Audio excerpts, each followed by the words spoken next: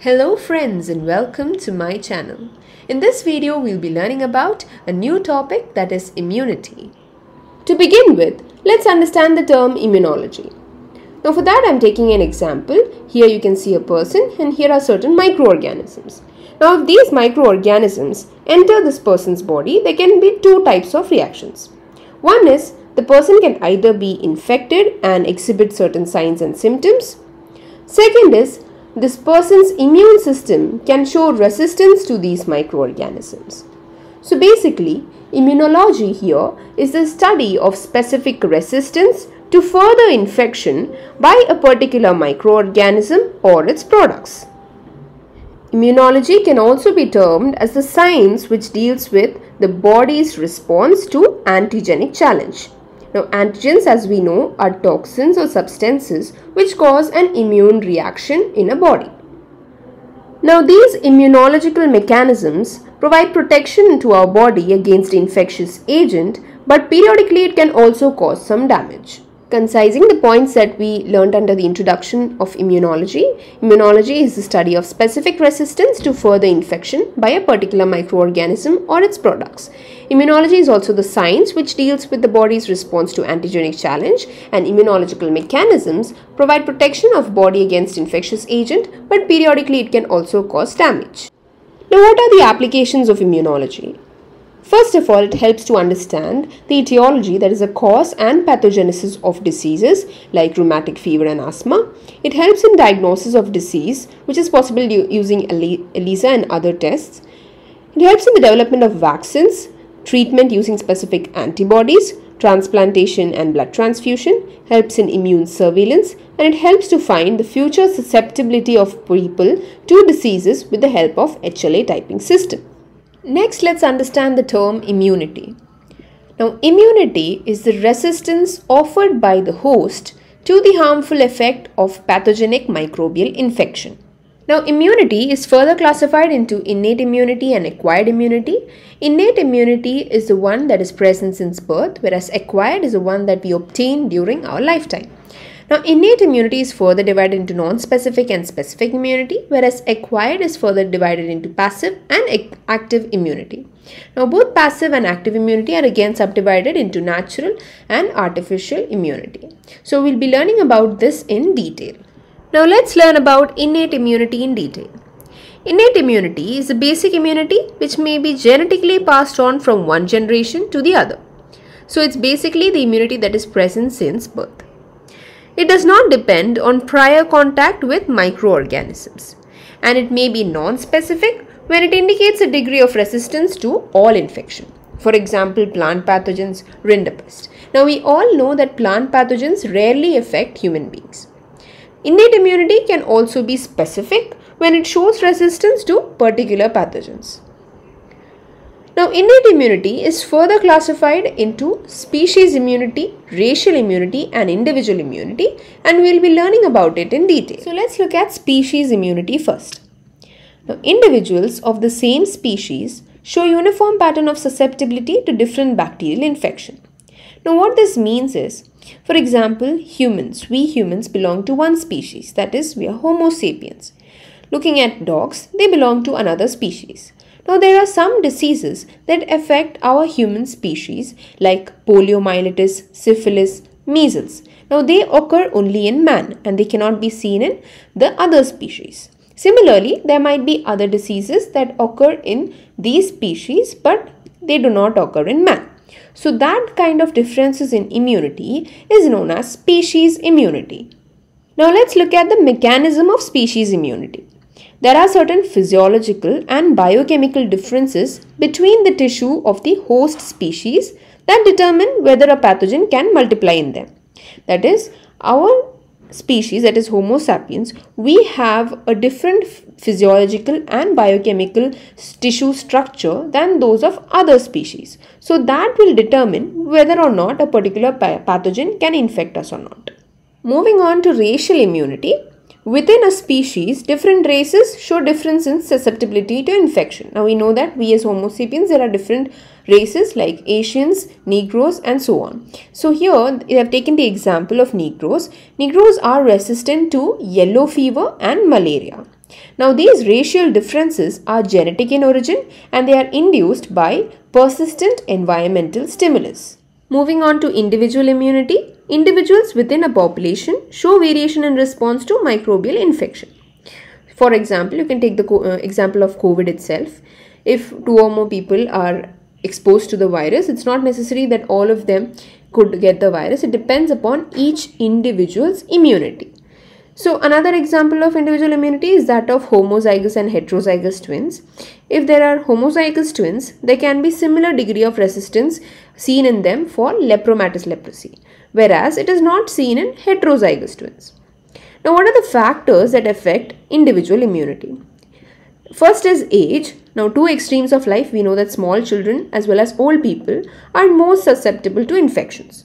Second factor is hormonal influence that is like endocrine disorders like diabetes mellitus that can have a greater susceptibility to getting infected. Third is nutrition. Defective nutrition increases the risk of infection. Concising the important points under innate immunity, it is a basic immunity which may be genetically passed on from one generation to the other. Does not depend on prior contact with microorganisms. It may be non-specific or specific. Innate immunity can be further divided into species immunity, racial immunity and individual immunity. Looking at the points under species immunity, individuals of same species show uniform pattern of susceptibility to different bacterial infection. Mechanism is due to the physiological and biochemical differences between the tissue of host species which determine whether or not a pathogen can multiply in them. For example, poliomyelitis, syphilis, measles occur only in man. Many a times, same species of bacteria may produce different types of infection. For example, Sa Salmonella typhi produces typhoid fever in man, but the mice is resistant. Concising the important points under racial immunity, within a species, different races show differences in susceptibility to infection. Negroes are resistant to yellow fever and malaria, and the racial differences are genetic in origin and induced by persistent environmental stimuli. Looking at individual immunity, individuals in a population show variation in response to microbial infection.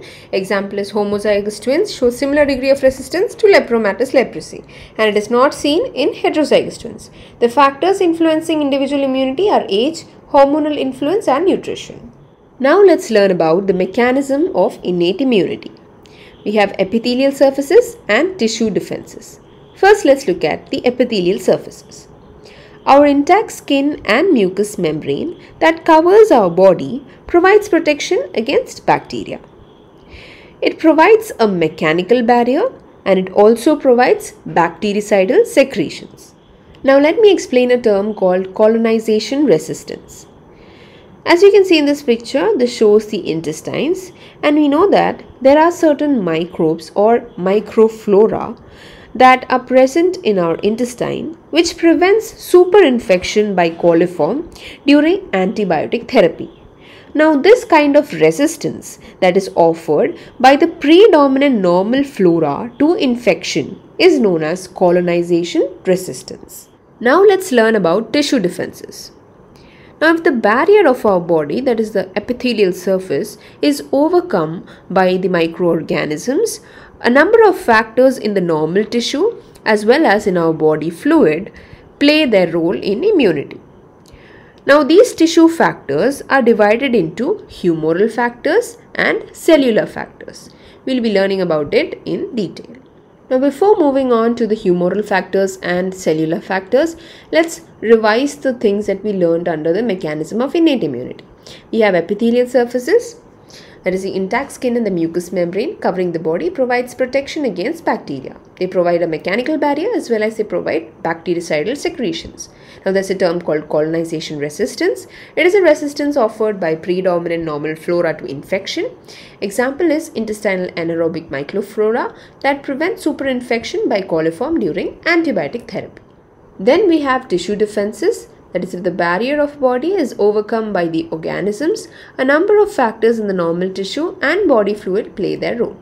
Now, these tissue factors are divided into humoral factors and cellular factors. Now, let's learn about the humoral factors. What do you mean by the term humoral factors? They are the factors that are transported by the circulatory system, that is our blood, and it includes lysozyme, C-reactive proteins, bactericidin, properdin, beta-lysine and basic polypeptides. Now, lysozyme is a bactericidal enzyme. It is found in our nasal, intestinal, and lacrimal secretions. C reactive protein is an important protein that appears in the blood of people with tissue necrosis and inflammation and it plays an important role in resolution or in resolving the inflammatory process. Now let's learn about what is acute phase proteins. There are some proteins in our plasma that are collectively called acute phase proteins. And there may be a sudden increase in the plasma concentration of these proteins as a response to infection or tissue injury. Now this response is called the acute phase reaction and the examples of these acute phase proteins are interleukin 1, interleukin 6, tumor necrosis factor and C-reactive proteins. Now they have a role to prevent tissue injury and they promote repair of inflammatory lesions. After having learned about the humoral factors, let's now look at the cellular factors. Cellular factors includes a process called phagocytosis. Now the process of phagocytosis consists of four phases. Let's look at the first phase. Now the first phase involves the approach of the phagocyte to the microbe by positive chemotaxis. Here you can see that this is the phagocyte and this is the microbe. And the first phase involves the approach of this phagocyte to the microbe. Now the second phase is absorption of this microorganism on the surface of the phagocyte. Third phase is the submergence of this microbe into the cytoplasm of the phagocyte as you can see here. And the fourth phase is intracellular digestion of the engulfed microbes. Now the phagocytic cells may be microphages or it can be macrophages. Now the example of microphages are polymorphonuclear leukocytes and the example of macrophages are histiocytes, monocytes and reticuloendothelial cells. Here I have concised the points under cellular factors. Phagocytosis process consists of first phase which involves the approach of the phagocyte to the microbe by positive chemotaxis. Second phase involves absorption of the microorganism on the surface of the phagocyte.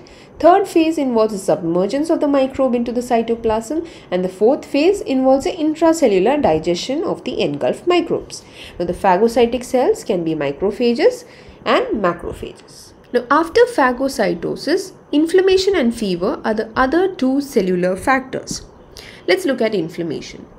We know that when a tissue injury occurs or when there is an entry of an bacteria or other organism and when it creates an irritation in our tissue, it leads to inflammation.